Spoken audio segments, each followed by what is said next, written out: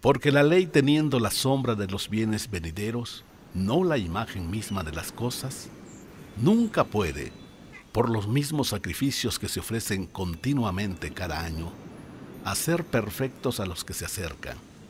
De otra manera, cesarían de ofrecerse, pues los que tributan este culto, limpios una vez, no tendrían ya más conciencia del pecado.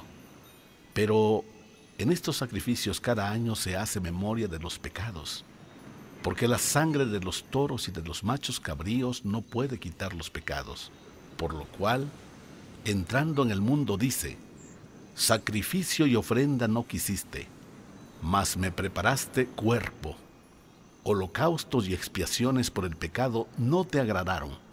Entonces dije, he aquí que vengo, oh Dios, para hacer tu voluntad como en el rollo del libro está escrito de mí, diciendo primero, sacrificio y ofrenda y holocaustos y expiaciones por el pecado no quisiste, ni te agradaron, las cuales cosas se ofrecen según la ley, y diciendo luego, he aquí que vengo, oh Dios, para hacer tu voluntad.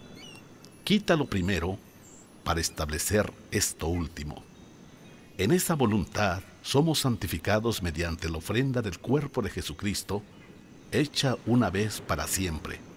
Y ciertamente todo sacerdote está día tras día ministrando y ofreciendo muchas veces los mismos sacrificios, que nunca pueden quitar los pecados. Pero Cristo, habiendo ofrecido una vez y para siempre un solo sacrificio por los pecados, se ha sentado a la diestra de Dios, de allí en adelante, esperando hasta que sus enemigos sean puestos por estrado de sus pies.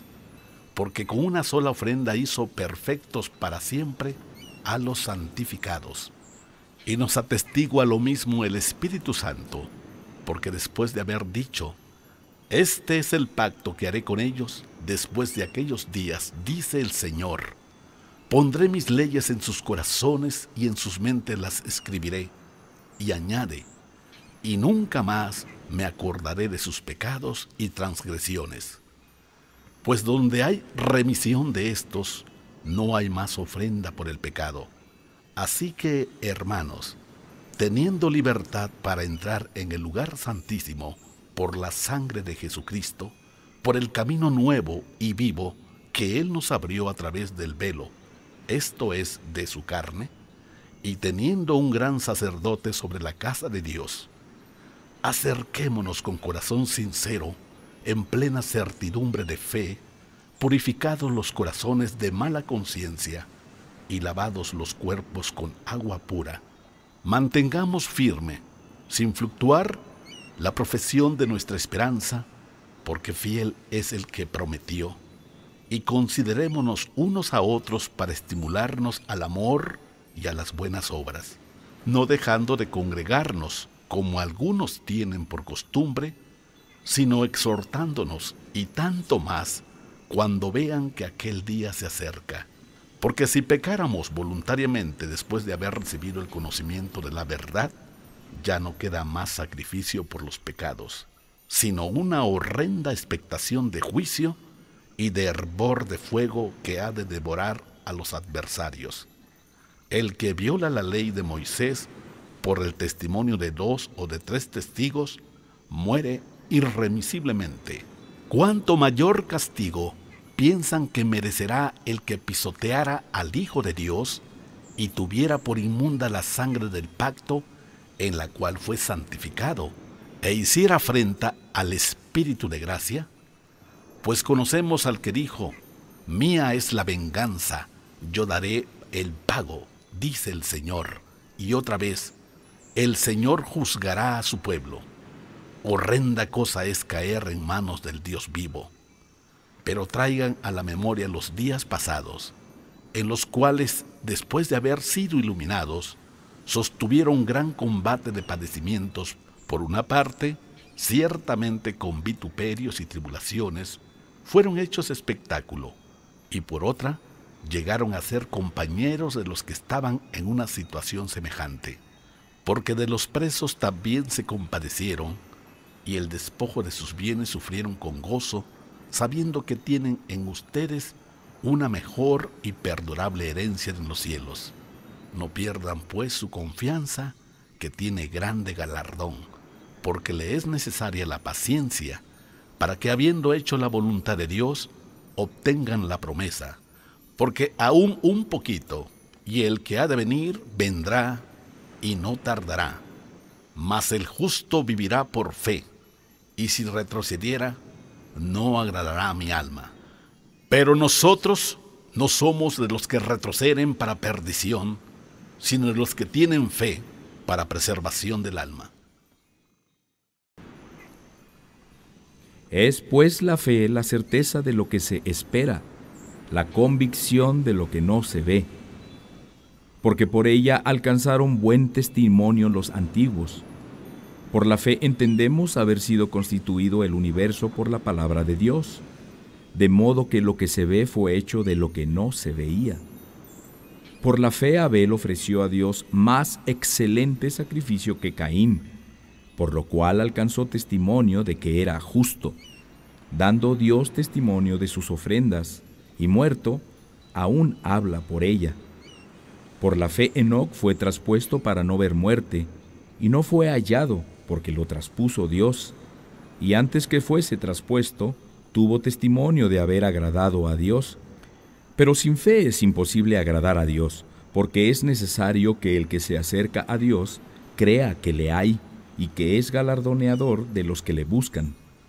Por la fe Noé, cuando fue advertido por Dios acerca de cosas que aún no se veían, con temor preparó el arca en que su casa se salvaría, y por esa fe condenó al mundo, y fue hecho heredero de la justicia que viene por la fe. Por la fe Abraham, siendo llamado, obedeció para salir al lugar que había de recibir como herencia y salió sin saber a dónde iba. Por la fe habitó como extranjero en la tierra prometida, como en tierra ajena, morando en tiendas con Isaac y Jacob, coherederos de la misma promesa, porque esperaba la ciudad que tenía fundamentos, cuyo arquitecto y constructor es Dios. Por la fe también la misma Sara, siendo estéril, recibió fuerza para concebir y dio a luz aún fuera del tiempo de la edad, porque creyó que era fiel quien lo había prometido, por lo cual también de uno, y ese ya casi muerto, salieron como las estrellas del cielo una multitud, y como la arena innumerable que está en la orilla del mar. Conforme a la fe, Murieron todos estos sin haber recibido lo prometido, sino mirándolo de lejos y creyéndolo y saludándolo y confesando que eran extranjeros y peregrinos sobre la tierra. Porque los que esto dicen claramente dan a entender que buscan una patria. Pues si hubieran estado pensando en aquella de donde salieron, ciertamente tenían tiempo de volver, pero anhelaban una mejor, esto es, celestial, por lo cual Dios no se avergüenza de llamarse Dios de ellos, porque les ha preparado una ciudad. Por la fe Abraham, cuando fue probado, ofreció a Isaac, y el que había recibido las promesas ofrecía su unigénito, habiéndosele dicho, en Isaac te será llamada descendencia, pensando que Dios es poderoso para levantar aún de entre los muertos, de donde en sentido figurado, también le volvió a recibir. Por la fe bendijo Isaac a Jacob y a Esaú respecto a cosas venideras. Por la fe Jacob, al morir, bendijo a cada uno de los hijos de José y adoró apoyado sobre el extremo de su bordón. Por la fe José, al morir, mencionó la salida de los hijos de Israel y dio mandamiento acerca de sus huesos.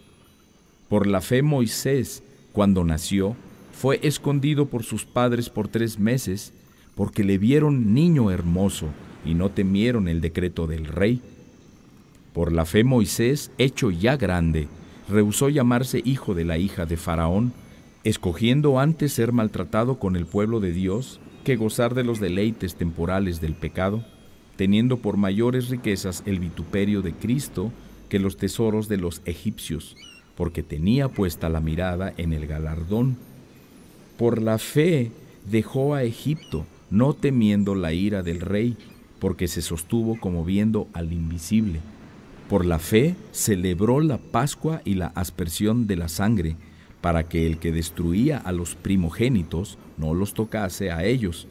Por la fe pasaron el mar rojo, como por tierra seca, e intentando los egipcios hacer lo mismo, fueron ahogados. Por la fe cayeron los muros de Jericó después de rodearlos siete días. Por la fe Raab la ramera no pereció juntamente con los desobedientes, habiendo recibido a los espías en paz. ¿Y qué más digo? Porque el tiempo me faltaría contando de Gedeón, de Barak, de Sansón, de Jafté, de David, así como de Samuel y de los profetas, que por fe conquistaron reinos, hicieron justicia, alcanzaron promesas, taparon bocas de leones, apagaron fuegos impetuosos, evitaron filo de espada, sacaron fuerza de debilidad, se hicieron fuertes en batalla, pusieron en fuga ejércitos extranjeros. Las mujeres recibieron sus muertos mediante resurrección, mas otros fueron atormentados, no aceptando el rescate, a fin de obtener mejor resurrección. Otros experimentaron vituperios y azotes, y a más de esto, prisiones y cárceles.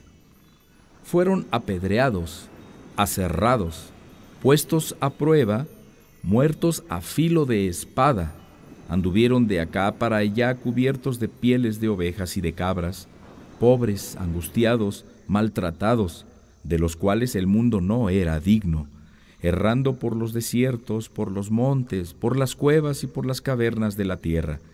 Y todos estos, aunque alcanzaron buen testimonio mediante la fe, no recibieron lo prometido, proveyendo Dios alguna cosa mejor para nosotros, para que no fueran ellos perfeccionados aparte de nosotros.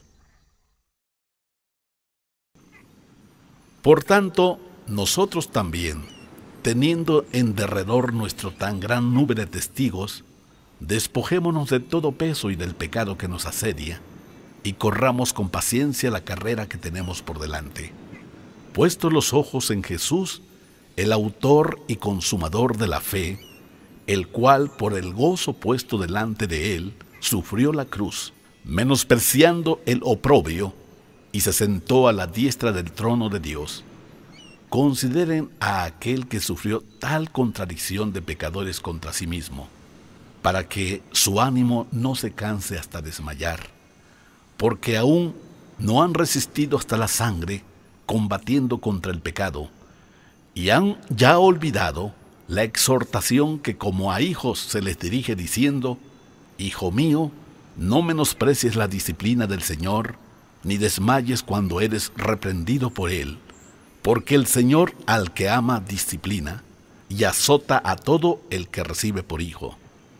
Si soportan la disciplina, Dios los trata como a hijos, porque ¿qué hijo es aquel a quien el Padre no disciplina?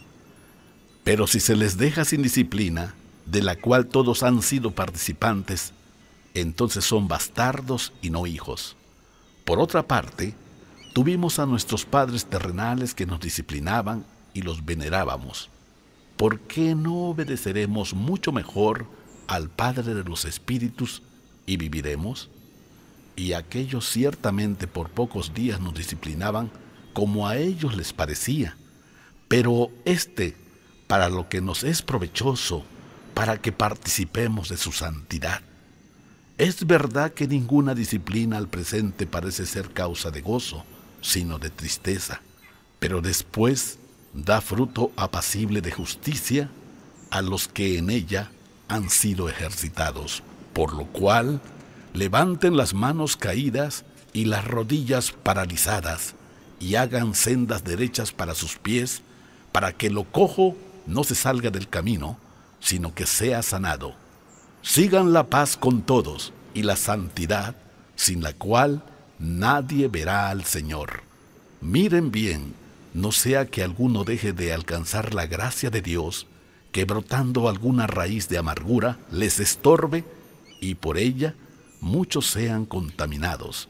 No sea que haya algún fornicario o profano como Esaú, que por una sola comida vendió su primogenitura, porque ya saben que aún después, deseando heredar la bendición, fue desechado, y no hubo oportunidad para el arrepentimiento, aunque la procuró con lágrimas, porque no se han acercado al monte que se podía palpar y que ardía en fuego, la oscuridad, a las tinieblas y a la tempestad, al sonido de la trompeta y a la voz que hablaba, la cual los que la oyeron rogaron que no se les hablara más, porque no podían soportar lo que se ordenaba. Si aún una bestia tocara el monte, será apedreada o pasada con dardo.